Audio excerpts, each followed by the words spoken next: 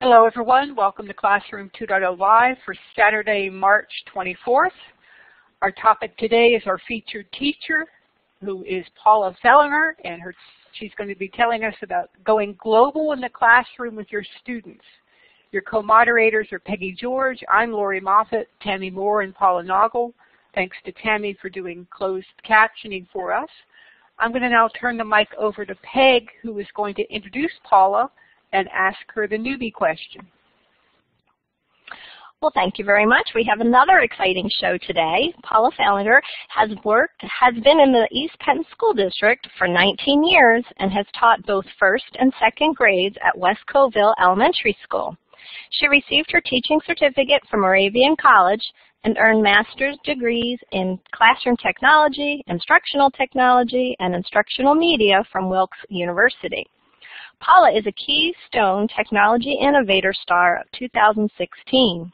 She is currently working on becoming a Google Certified Educator. Paula is the second grade level district leader at East Penn and serves on several committees within the district to support grading and curriculum initiatives.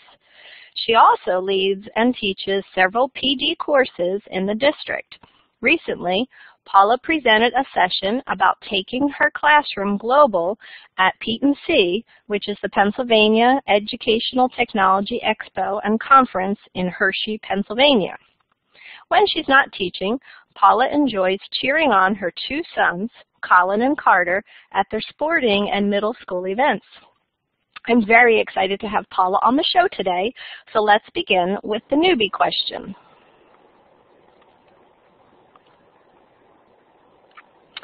Okay, Paula, what does Web 2.0 mean to you, and why do you use Web 2.0 tools in your classroom?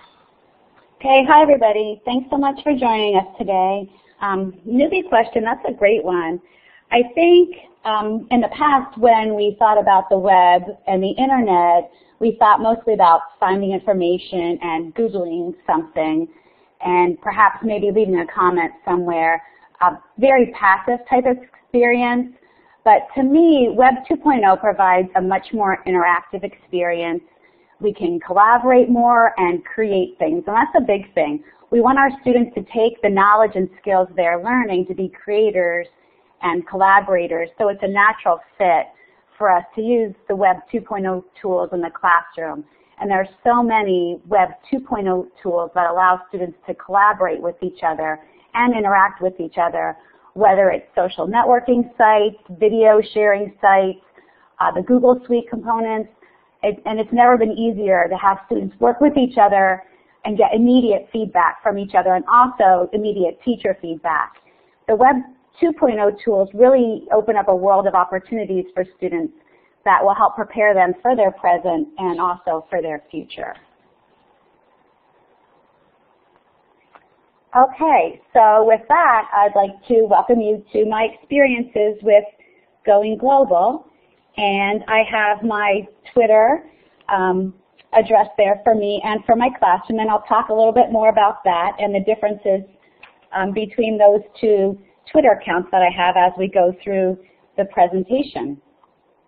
So as any good presentation would start, I'll take you with me grocery shopping, which definitely is something that I do not like. And I don't know if, I don't know if anybody really likes grocery shopping, but for me, not one of my favorite things to do. And for me, I actually live in the same district that I teach. So grocery shopping can be a very interesting experience for me. And this was way back my very first year of teaching. Um, I was grocery shopping and as I turn the corner, I see one of my students there. And I think I surprised him more than he surprised me. And I get that deer in the headlights look. And he really didn't have anything to say to me. And, and I look and look. And I think his mother maybe was more surprised than I was. And she kind of looked and didn't know who I was. It was right in the beginning of the year. And I assured her I was not a stranger.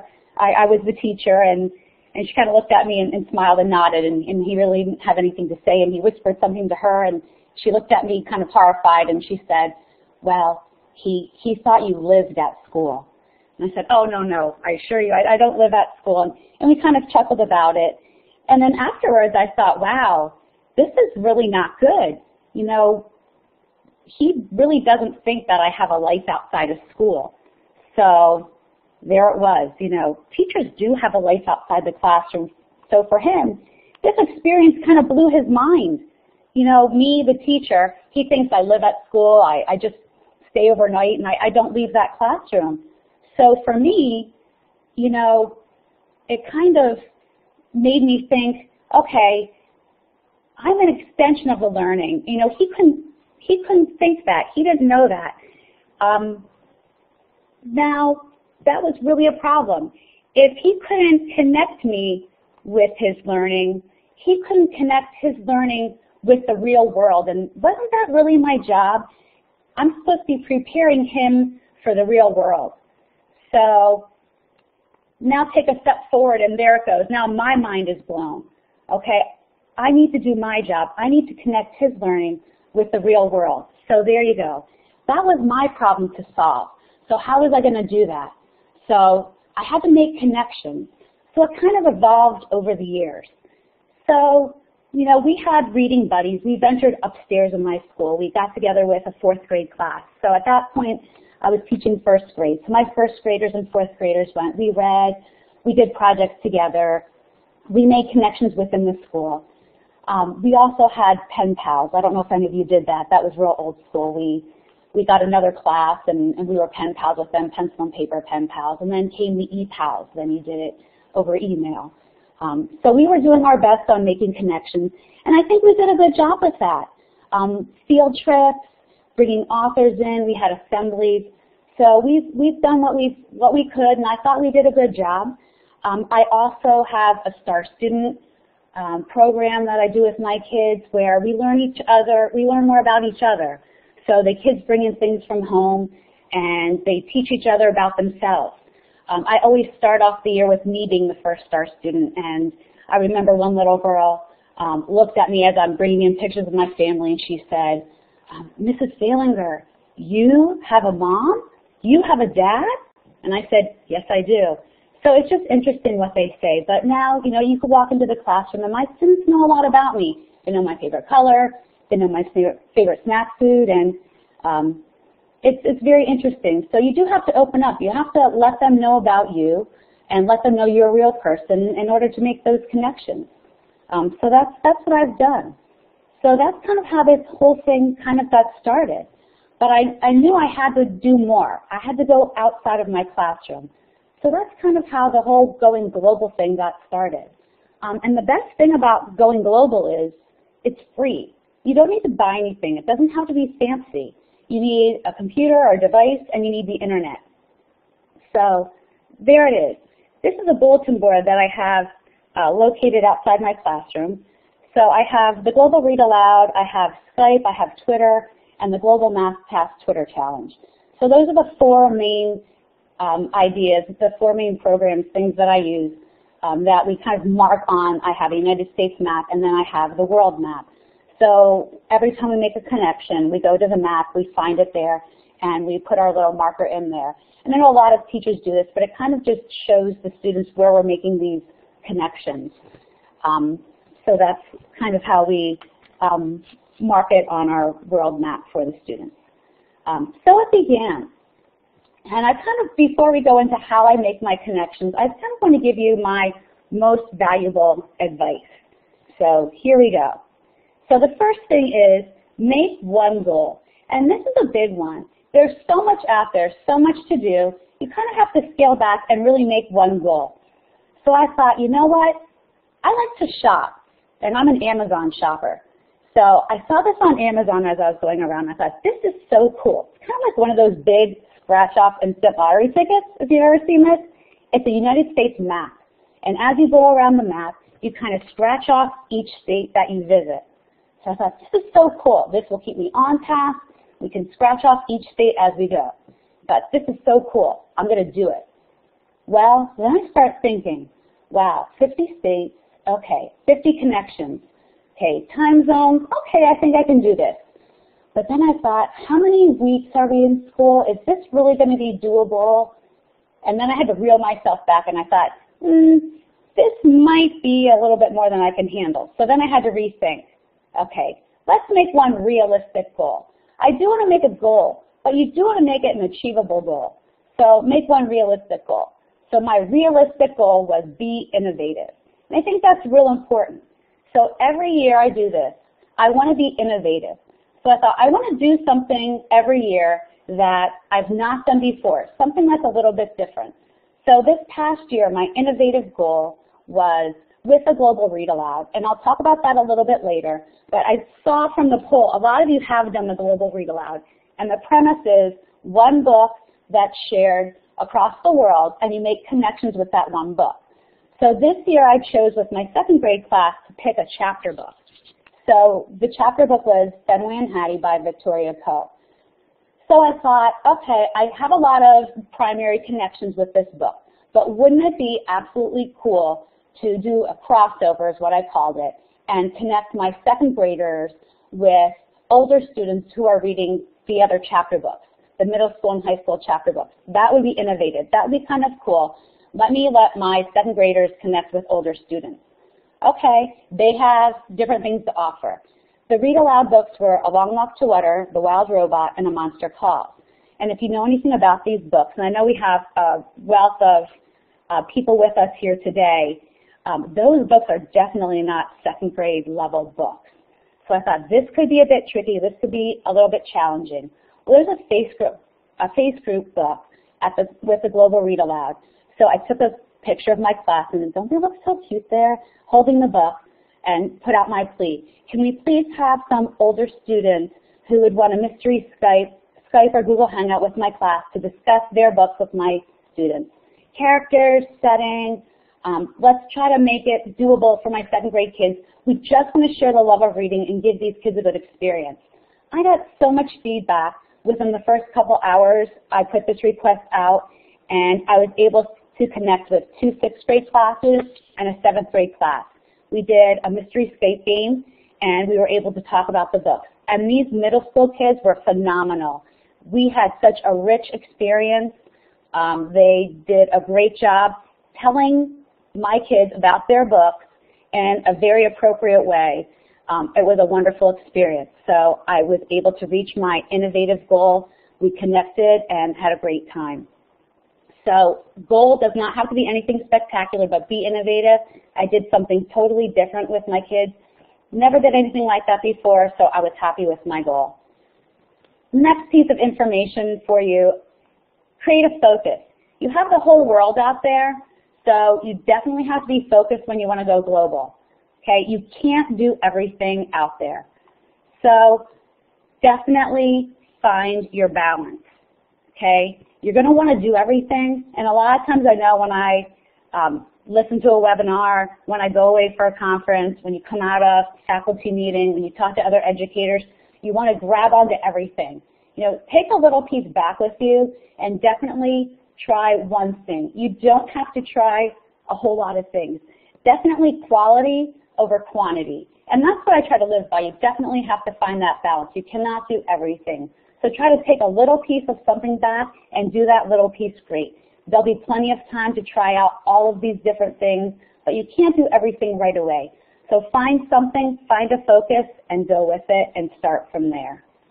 Next piece of advice is to keep a log of what you do because really you're probably doing a lot more than what you think you are. And for me, being a classroom teacher, there's a lot of paperwork you have to fill out at the end of the year also for your evaluation. And a lot of times you don't remember everything you're doing. And with going global, you have to be very organized as well. Because when you start making those classroom connections and you're reaching out to all these people, things start to get muddled and then you forget who am I supposed to be connecting with at this time and what's their Twitter handle, what's their email address, what's their site name. So I'll give you just one example. I started creating Google Docs for different things that I was doing. So this is an example of a Google Doc for what I created for the Global Read Aloud. So I simply just made a chart with the dates and different things that I was doing, whether it was something easy as visiting the author's website, doing some Flipgrid assignments, what I was doing with my students, who I was going to have a mystery Skype with, um, or Google Hangout with, what we were doing. That way, when I go back either to let my principal know what I was doing, tell a colleague what I was doing, knowing when I was going to have my next global connection. Everything was right there for me. So definitely you have to be organized so things don't get confused, so you can be on time, be organized, um, and definitely know what you're doing and know your next step. So keep a log of what you're doing. Definitely the way to go. Next piece of advice, and this is one that I continue to work on every day, both professionally and personally, and this has to do with social media. Um, share and don't compare. Share, don't compare. I'll repeat that one again, and I'll tell you why. You are doing great things. Educators do wonderful things, and you can't let anybody throw shade on you or take that away from you at all.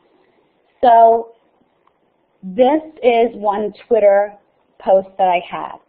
Um, when we talk about Skype a little bit later, there's a couple programs that Skype in the Classroom puts out, and one happens to be this Skype-a-thon, which is a program that they had, and it was two days in which they said, hey, let's see if we can travel 10 million miles around the globe, make as many global connections as you can, and let's make this a goal for everybody. And I thought, this sounds wonderful. Let's do this.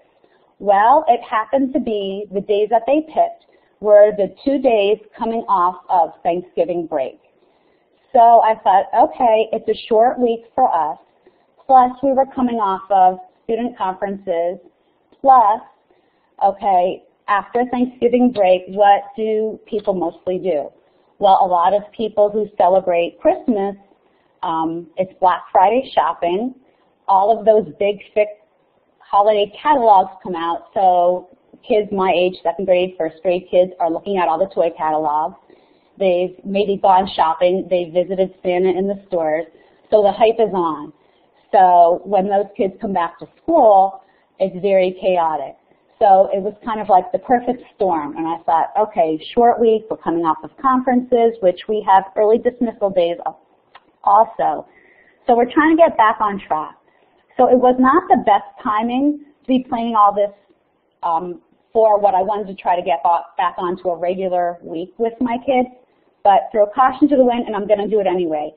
So I kind of combined my Be Innovative goal, and I thought, I am not going to do United States connections. I'm truly going to go global, and I want to do international connections. So throw in some time zone constraints there, and I was really going for it. So I was able to make a connection for England and a connection for Italy. So I was super pumped and super proud of myself for organizing all of this. So we traveled to Italy, and here's my post. I actually had my kids traveling to Italy and they were Skyping with college students. So it was a group of college students who were studying abroad from DeSales University. So they took time away from their exams and we Skyped with them. And they did an awesome job with my kids, talking to them and explaining things to them. And we traveled 4,285 miles. It was wonderful. And I was so excited. I didn't even have time to tweet this until like 9 o'clock at night when I got home. So at that point, I tweeted it and I thought, okay, I'm just going to take a peek on Twitter and I'm going to see what everybody else was doing for Skype-a-thon. So I, I did. I sat down and here's what I saw. Okay, here's a tweet and if you notice, this teacher has high heels on, propped up on a globe. And she traveled to five countries, eight Skype calls, 30,000 miles. Well, let me just tell you, I felt so deflated after reading that and then I, I saw another post. And if you count these little international flags, you'll see there's 11 international flags there. So then I read this other teacher's post. They traveled to 11 different countries. So my measly little Italy call with 4,000 miles didn't seem so important at that point. But you can't let that kind of, you know, be disappointing to you. I was so proud, and my lesson learned was don't be discouraged by anything. Be happy for what you did. And these teachers, I still swear, they must not have gone to the bathroom or eaten lunch that day. That's, that's just what I'm saying. But my point to you is be happy for what you did. Be happy for what they did because everybody is doing great things. So share, don't compare. Okay. The next piece of advice is please be reliable. And this is a big one. Be reliable. If you say you're going to be somewhere, be there. If you say you're going to do something, do it. So this is an example of a global connection is a postcard exchange. And this is an awesome thing to do. I was lucky enough to be part of a group. And a lot of times there's teachers out there who will set up groups. And this was part of the global read aloud as well. One teacher, um, it was actually, he set up, 13 of us joined in. And he said, hey, let's do a postcard exchange. He got everybody's addresses together, and you had six weeks. That's how long the global read aloud ran. Six weeks to send out your postcards. And I thought, this is great. It's already set up for me. All I have to do is have 13 postcards, or 12 postcards, because I was teacher 13. We'll send them out, and this will be wonderful. So within the first two weeks, I got one postcard. So I thought, instead of sending my Pennsylvania postcard, we're going to make our own postcards. So I took a picture of the kids. The kids wrote personal messages. They all signed their name, and we sent them out. So after the six weeks, I got two postcards back. And the kids were so disappointed. And I thought, hmm, this is not really good.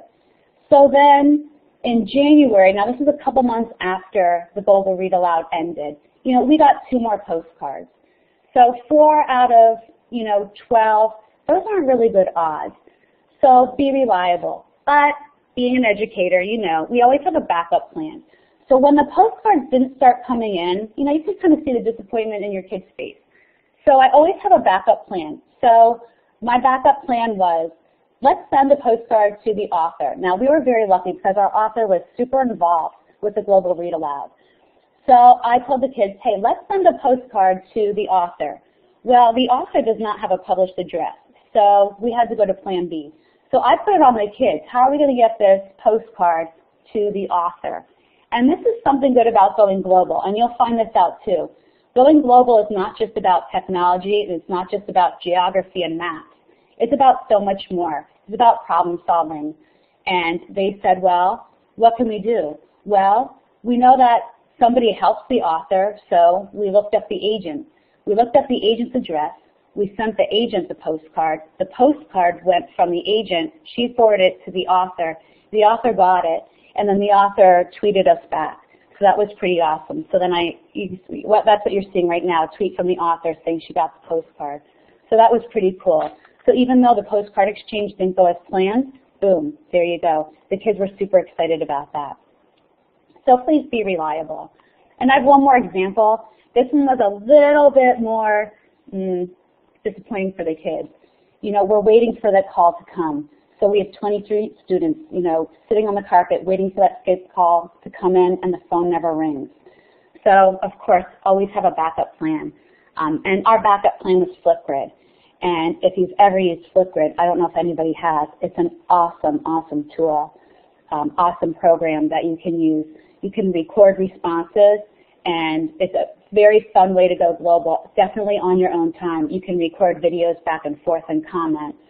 So actually the teacher who was supposed to call us had an emergency. We didn't know that. Um, that's why she didn't call us. But I knew she had a Flipgrid. We pulled up her Flipgrid and we actually just recorded a response back to her. So instead of calling her, we kind of sent her a Flipgrid message. So we still did get our global connection with her. Um, but instead of talking to her, we used the Flipgrid. So it all turned out well. Okay, this is another good piece of advice. Be comfortable definitely want to be comfortable going global. And a lot of you have used Skype too, but if you've never used Skype, um, the first call is always the hardest. But although you do want to be comfortable, definitely push yourself outside your com comfort zone, even if, if it's just a little bit. And I did that this year. Even though I've done Skype calls before, Google Hangouts before, I've never done anything like this, and it was a four-state Google Hangout. So four teachers decided, let's get together and we're going to read a chapter of our Global Read Aloud book together. Um, it was a little nerve-wracking because now instead of just one connection, there were four. So that's four connections I had to worry about. Were all the teachers going to show up? What if somebody couldn't get connected? What if somebody got dropped out? And this was perhaps like the most awesome, fun experience ever.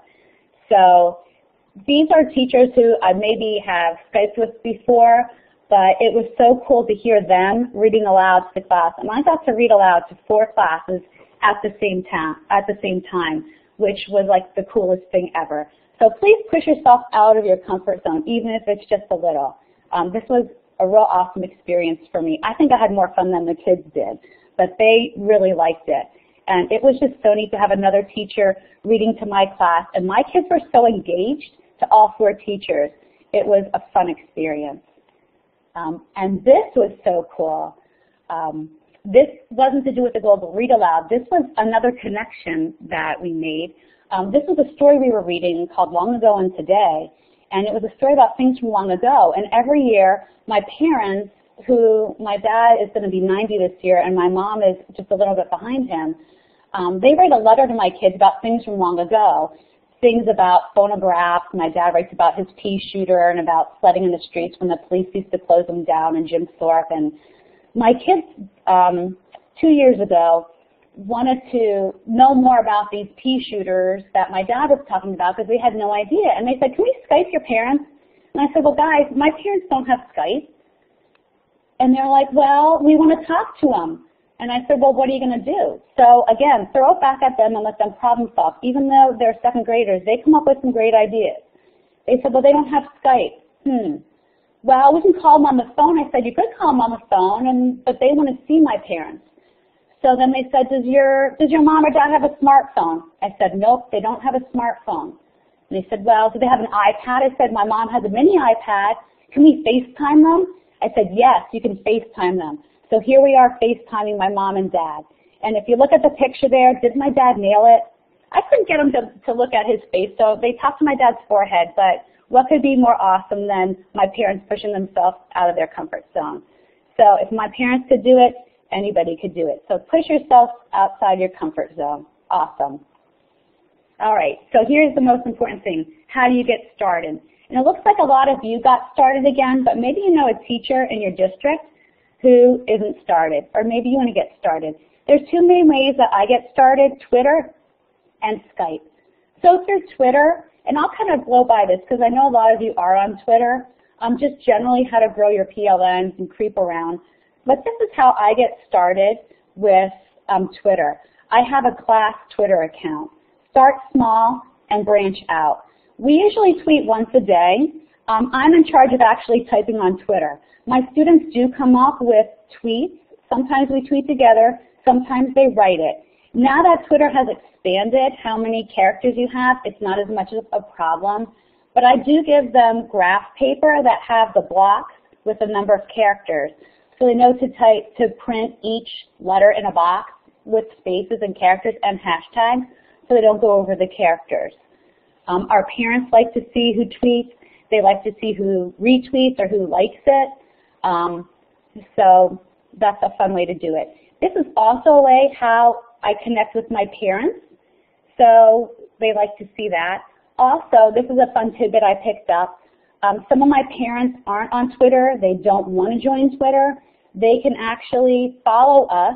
You won't be able to see who's following you this way, but they can definitely, um, if they just text follow at Mrs. Fehlinger is my handle, but whatever username to 40404, they'll start receiving your tweets on a device.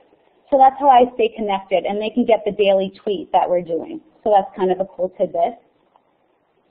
Follow other classes and make new friends. You can exchange tweets, pictures, videos, or have a slow chat. Create your own hashtag. You can create any hashtag you want, and then just tweet back and forth with that class or a group of classes and stay connected that way. And an example of a slow chat, um, we created a hashtag for the BFG that was uh, from a couple years ago, one of the stories from the Global Read Aloud, and we just had a chat for a whole week talking about that chapter of the book, and we were going back and forth. So that was kind of cool. You can tweet and tag experts and organizations related to your studies. This is a very great idea of how to ask questions, make any kind of curriculum, um, connections that you want. Tell your ideas. It brings that learning to life. Make your learning, take that learning outside of your classroom. Very easy way to do that um, with your students. So a couple things that we did. We were reading a story about Magic Johnson. We tweeted him. He's got 4 million followers. Also a good way to kind of put things in perspective to your students as well. Do you think Magic Johnson's going to like our tweet? Do you think he's going to follow us back? You know, they have no concept of, you know, how many people follow Magic Johnson. Who does he follow? So it kind of puts in perspective too and kind of gives them an idea of the real world out there. They see him on TV and they think, hey, I can maybe meet him someday or, you know, just kind of gives them that whole real world perspective of what we're learning. We read a book on Bindi Irwin and we tweeted her too, bringing that learning to life. Take it from your classroom and pop it into the real world. This was a fun one too. Jane Goodall Institute, we did tweet them after reading one of her stories. They have 1.4 million followers and they actually liked our tweet. So the kids were so excited about that. That was such a cool thing. I think may, I was more excited than they were. But it just goes to show you, hey, guess what? Even though they have that many followers, they saw your tweet and they liked it. So they are invested in our learning just like we are. Our learning is important to them too. Again, another global connection, another way to show them that the real world is, interested in what you're learning. GoNoodle for any of my elementary friends out there who are listening, um, this is a savior in the winter for us who have the snow, and I know a lot of you out there have the sunshiny weather. Um, great for brain breaks. They are great about retweeting and about liking. So they liked one of our tweets here, and the kids absolutely get so excited when the GoNoodle people like our tweets. And I'm so sad the Olympics only happen every two years, but we had so much fun with the Olympics, and this was such an awesome experience for us. We actually went to um, the Olympics this year. When I was presenting at the C um, event this year, one of the giveaways was Google Cardboard. So I brought that back to the classroom and the NBC um, virtual reality app was awesome. And actually the kids were able to go to the Olympic events and each student was able to pick what event they wanted to see and it, it was just awesome. They were able to be at the Olympics. So we decided, we did a lot of research on the Olympics and it was a lot of fun. We actually decided that we wanted to tweet some of the Olympians. So what we did, we did some research. We picked Olympians who were from Pennsylvania and we picked some of the Olympians that won medals. And of course, the kids liked some of the Olympians. Um, Sean, or the, the snowboarder they wanted to tweet, and some of the other more popular ones they wanted to. So we narrowed it down to 10 Olympians and sent them, it was very brief, 10, 20 second videos that we recorded and used the hashtags that the Olympics put out. And Summer Britcher, she was on the luge team and she didn't win a medal, but we tweeted her and she actually liked our tweet while she was still in South Korea. So the kids were super excited for that. I was super excited for that. Um, what an awesome experience for that. One of the Olympians, while she was still in South Korea, liked our tweet, and it just rounded out our experience and bringing learning to life. And it was such a great global experience for my kids. And I think that was just probably the highlight of my year so far. Um, such a great global experience for them. And I think they need to move the Summer Olympics while we're still in school because, well, with all this snow, maybe we will be in school for the Summer Olympics sometime. But I always like when the Winter Olympics roll around because there's just so much you can do with that. Um, but what an awesome experience for the kids. So that's kind of how I do my Twitter. I do keep my professional Twitter separate from my classroom Twitter, so that's why I have two different Twitter accounts. Um, but Skype, I do do a lot with Skype, and Skype in the Classroom has perhaps the best website, and there's a link in the LiveBinder for that. Um, but I do have a screenshot of the website for you. They have all of the information that you could need or want for Skype in the Classroom. They have tutorials. You can sign up. They have a badge system. They'll explain it to you. They will help you. You can chat with them. You can join it. You can go on virtual field trips. There's Skype lessons.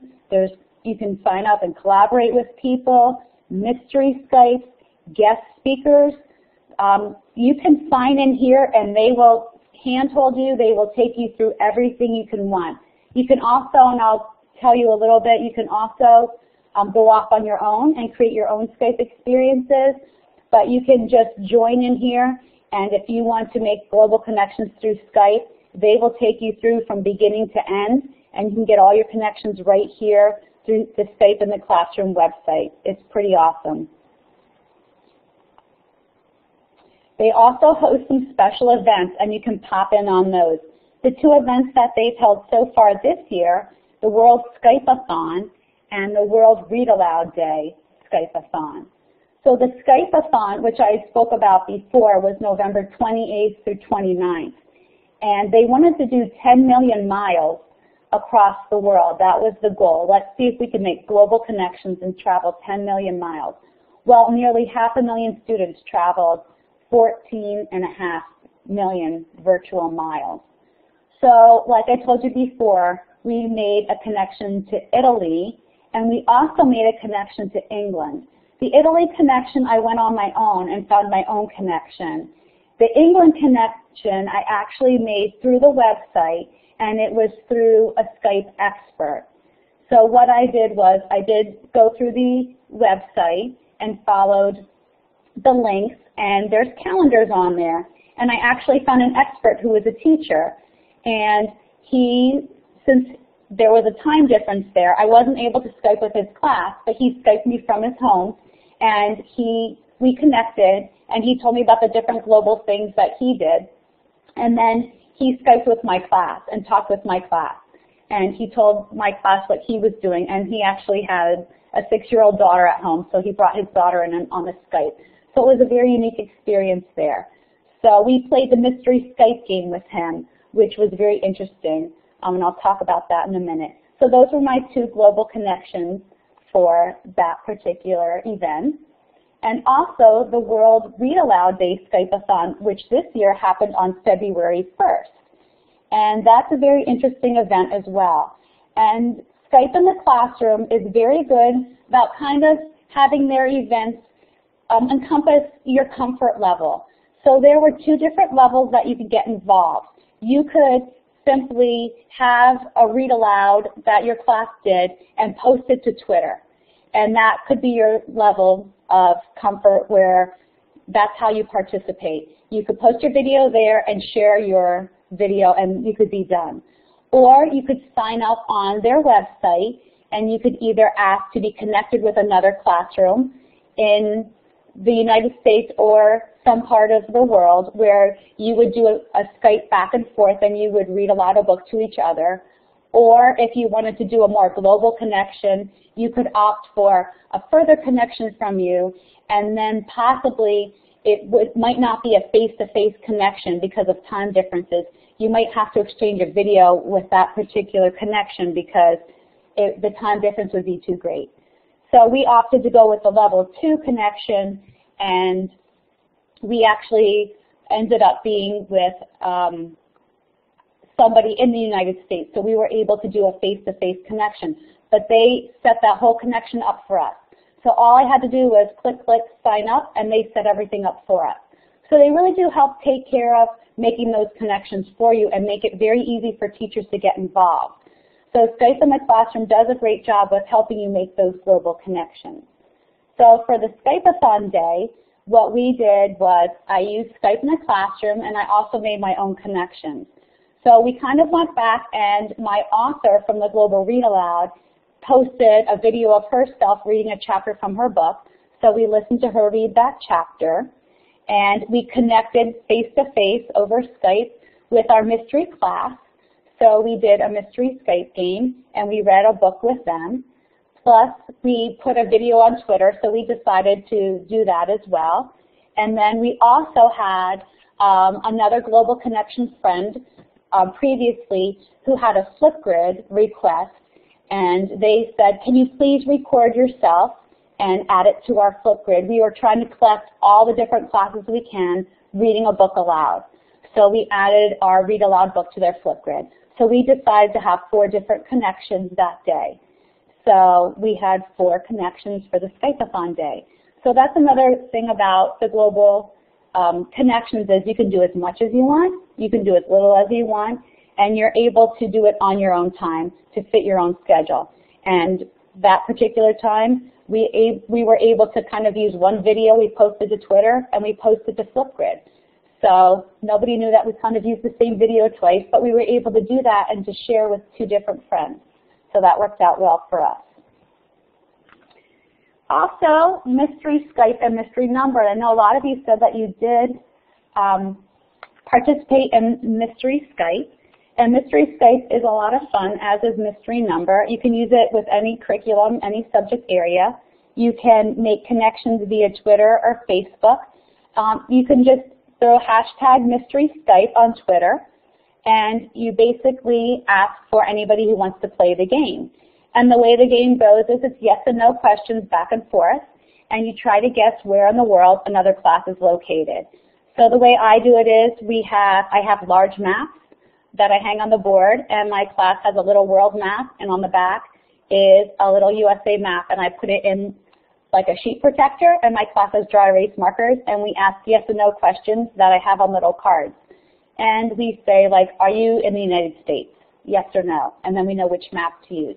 And then you ask other questions depending on the question before it, and you kind of alternate back and forth. And you can play the game any way you want. Um, the one piece of advice I'd give you with a global connection is the more you can connect with the teacher on the other end, the better and the more smoothly it goes.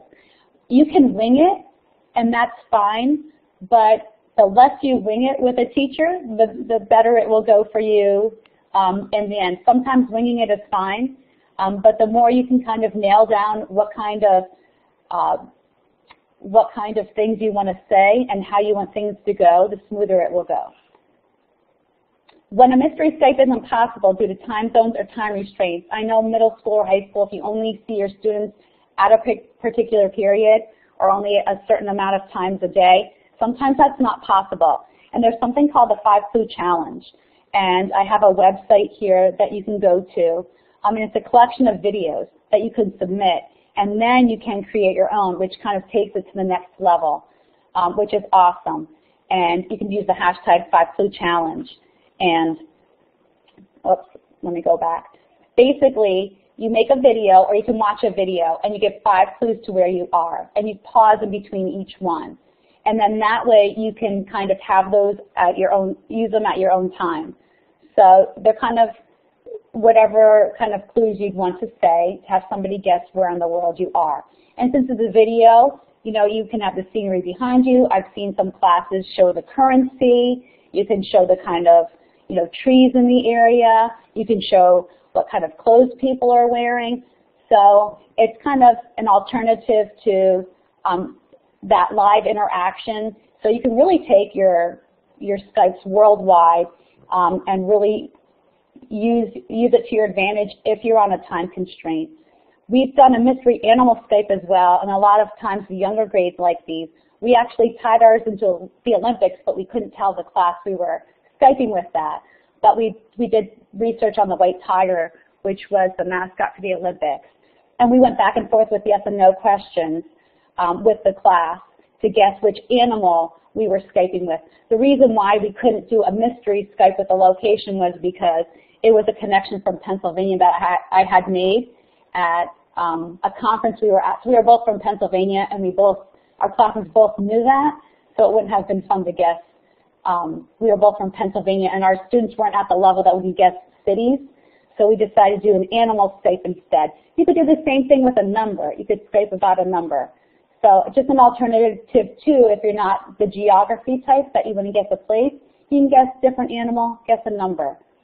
But just uh, to tell you about the power of Skype too, I've done this with um, a colleague from the same district as me. We traveled to India via the middle school that's located right down the street from us.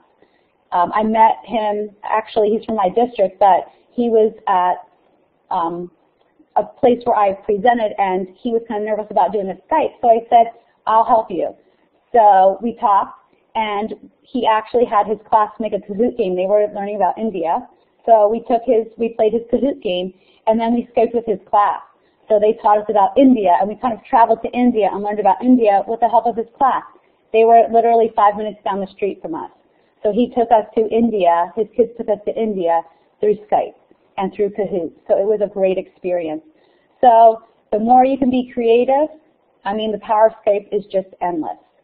Um, you can also Skype a guest speaker or go on a virtual field trip. I'm going to show you a quick video right now about a field trip that we just took yesterday. We had a guest speaker from Yellowstone National Park.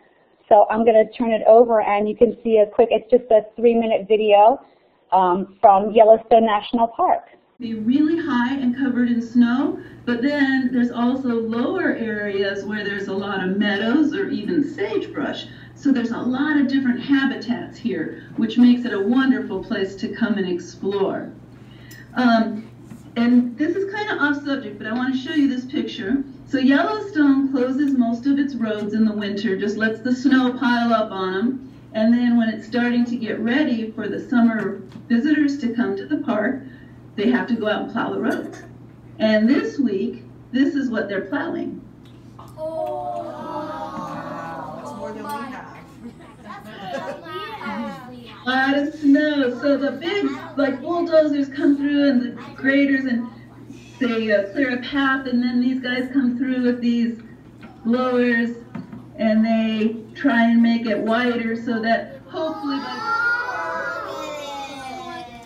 and it can only wobble around on I'm sorry, it can only wobble around on these legs. It can't walk real uh, really well yet, but within a week, when it's one week old, it'll be able to keep up with the herd and it'll even be able to cross swim across rivers and streams to keep up with the herd.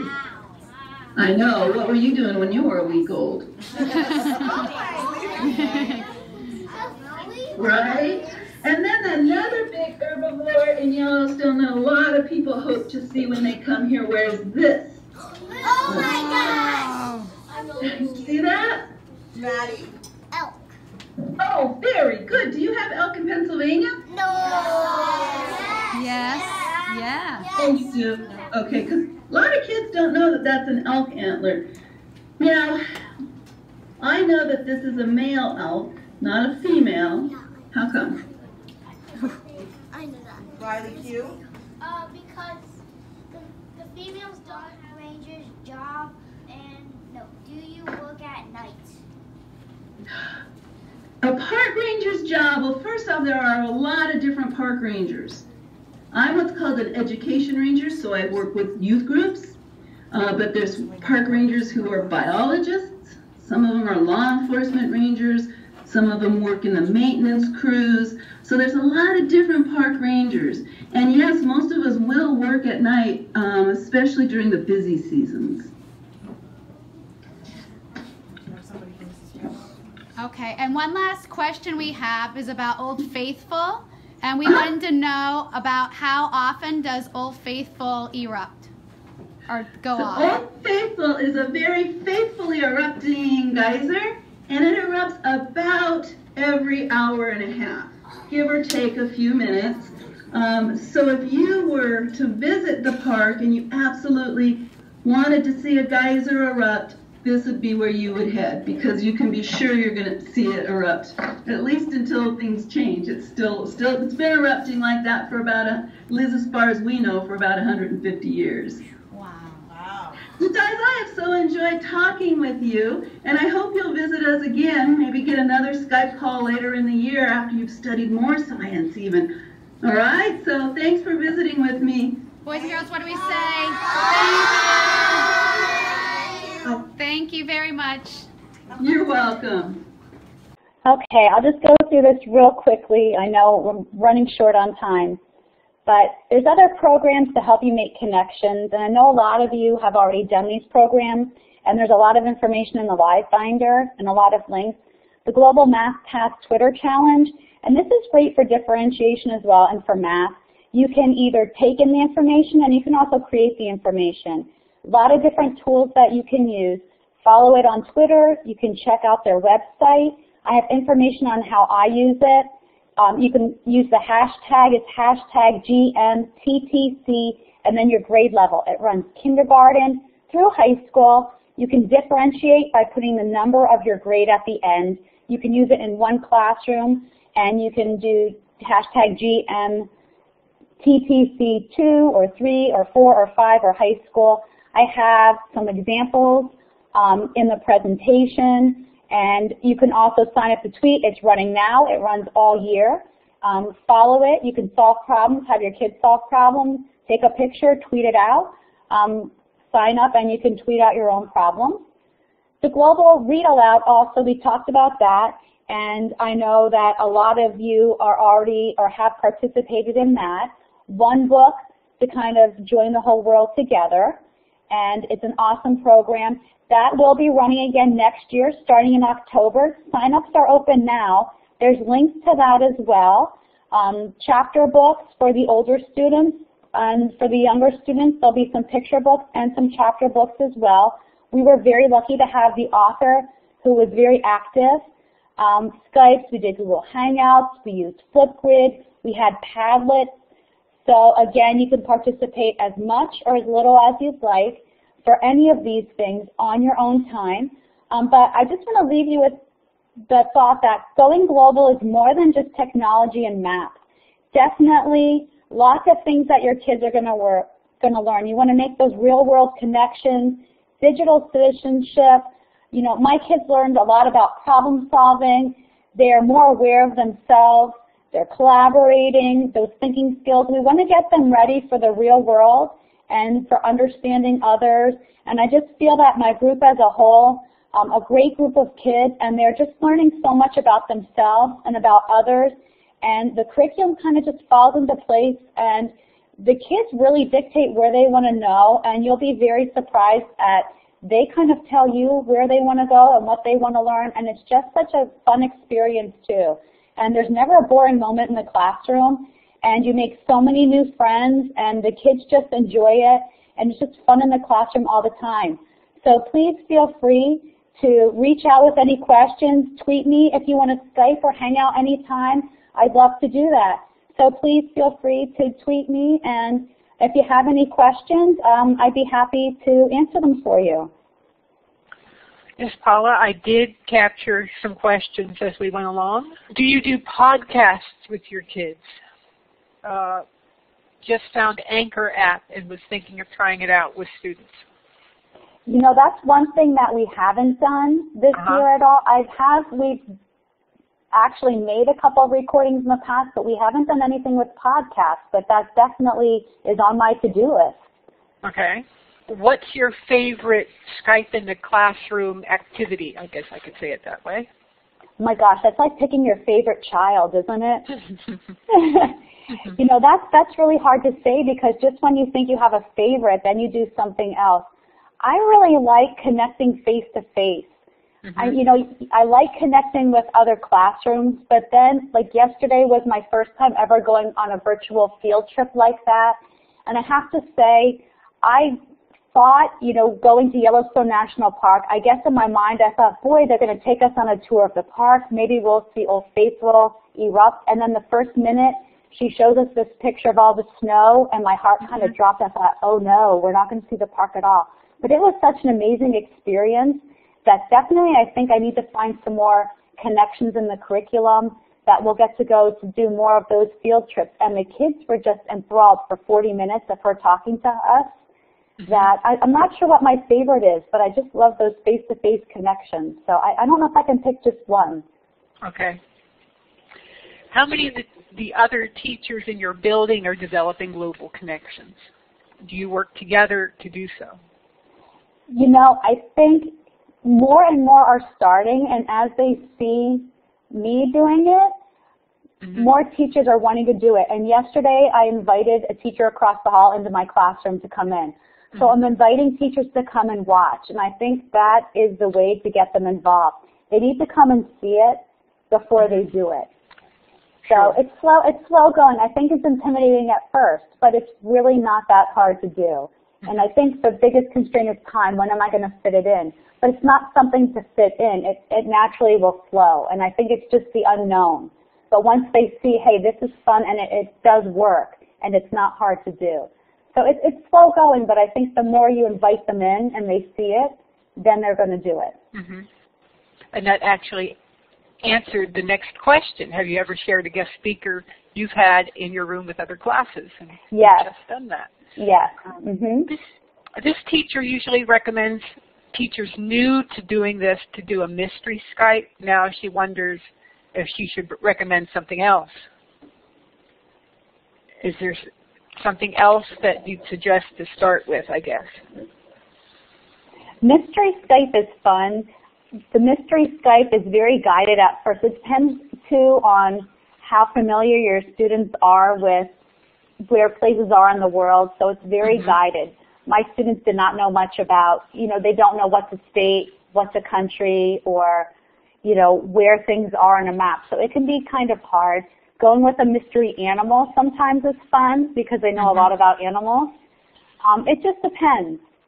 So mystery Skype definitely is fun because they like to know, hey, we're calling California, or it's a different time. Sometimes mm-hmm. that's fun too, and like you can look, what clothes are they wearing? So they kind of look for different clues, and they feel like detectives if they kind mm-hmm. of can look and see, you know, can we find any clues in their classroom? Okay, those were the questions that I was able to capture. Does anyone else have a question for Paula? Do you do any blogging with other classrooms? I do not do any blogging. Blogging is something that I've always wanted to do, but I just haven't gone there yet. Mm-hmm. And Paula Naugle wants to connect during April for Natu National Poetry Month. Definitely, I'd love that. Those were the questions. Again, thanks so much for presenting, Paula. I think we learned a lot today. I'm going to turn the mic over to Peggy, who will tell us what's coming up. Thank you so much, Paula. That was that hour just flew by, and I know we're going to want to re-listen to that. In fact, I think it's a perfect recording to go back and share with teachers at your school when they see how easy it is to get started doing these things and how valuable they are for the students. They are going to love it. So thank you for sharing with us. And everyone be sure to save that LiveBinder link so you can go in and browse through the different videos and resources right there. It'll take you quite a while. Well, we hope you'll come back every Saturday you can when we have shows scheduled. Please notice that we will not be having a show for the next two Saturdays. So you get a little time off, um, but didn't want you to not notice this. March 31st is Easter weekend in the United States, so we won't have a show that weekend. And the following weekend, um, I've needed to reschedule that show, and thankfully Sarah Malchow was so great about agreeing to reschedule it um, because I'm having some surgery at that time and won't be able to prepare for the show. So we'll be having Sarah with us on May 5th. So be sure to come and join us for that. Also, April 14th, Pooja Agarwal, and I know I'm not saying her name right, is going to be sharing some awesome things with us about the brain and memory and how we can really help our students capture things and remember them. And it's all based on research. Then April 21st, Jennifer Redgrove, fourth grade teacher, is going to be our April featured teacher, and she is one of Paula's colleagues on Fourth Chat, and she has fantastic things to share with us. And then April 28th, Matt Miller is going to join us, and you all probably know him as Ditch That Textbook. Well, he's going to talk to us about 10 things that we can ditch in education but he's going to give us some ideas about what we can do instead. So please join us any weekend you can. And if you can't join us live, I know you know we'll always have them available as a recording following up. So thanks everyone for joining us. Thanks, Peggy. The Learning Revolution Project is Steve Hargadon's latest. He's gathered all his PD resources in one place including host your own webinar where you can sign up for a Collaborate session, and as long as it's open to the public, it is free. You can nominate a featured teacher for the month with this form. that you can also find in the LiveBinder. You can nominate yourself as a featured teacher for the month as well. The video collections on iTunes U and YouTube. So there's a YouTube channel as well with the videos. As you exit the session, the survey link should open automatically. You can also take the survey from the chat box or from within the LiveBinder. And at the bottom of the survey, you can request a professional development certificate. Make sure you use a personal email address for this.